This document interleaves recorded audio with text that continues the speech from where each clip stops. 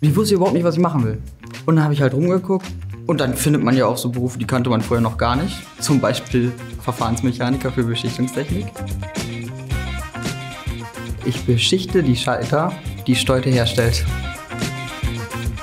Über die Agentur für Arbeit habe ich erfahren, dass Stolte ausbildet als Informatikkauffrau. Ich habe mit null Vorkenntnissen ja angefangen.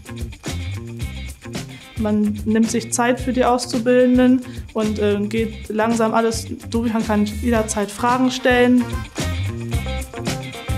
Dass ich nicht wie am Anfang der Ausbildung nur Sichtkontrolle gemacht habe von Leiterplatten, sondern auch ähm, über die Jahre mehr Verantwortung bekommen habe, dann halt auch wirklich die Maschine selber zu bedienen.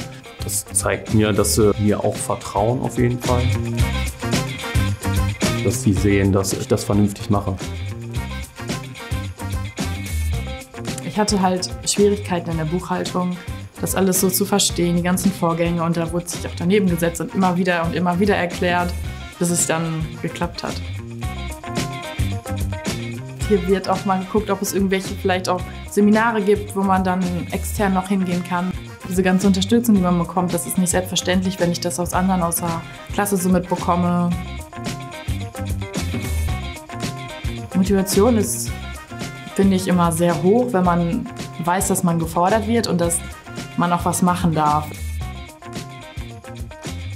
Man stellt hier, egal wo man ist, nie eine falsche Frage. Das ist äh, eigentlich als Azubi wunderbar, weil man kann durch die Produktion gehen und das Schlimmste, was einem passieren kann, ist, dass jemand sagt, Entschuldigung, jetzt ist gerade schlecht, aber komm doch einfach noch mal in einer halben Stunde wieder und äh, dann kriegt man hier auch alle Fragen, die man hat, irgendwie beantwortet. Ich bin kreativ, aber ich bin kein Künstler. Ich bin eher der, der Umsetzer, der, der den Ideen, die die anderen zum Teil haben, einfach noch so einen kleinen Pep auch mitgibt. Wenn man eine Idee hat, ist es eigentlich nie der verkehrte Zeitpunkt, um auch zu sagen, hey, ich habe da noch eine Idee. Also jetzt gerade in der Tätigkeit in der Konstruktion, die Kollegen sind da auch äh, sehr offen für neue Ideen.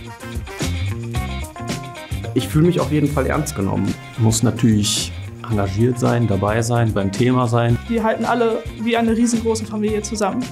Ich finde es gut, dass die ganzen Azubis alle gleich behandelt werden. Also das ist nicht so abgestumpft hier. Es macht schon einfach, also dieses, dieses Feeling ist einfach, das ist schon schön.